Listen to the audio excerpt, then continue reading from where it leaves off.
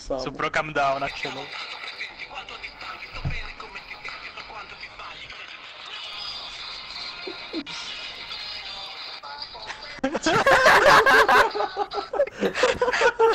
Ma perché? Perché esiste sta roba? Non ha diritto di esistere. Puoi, puoi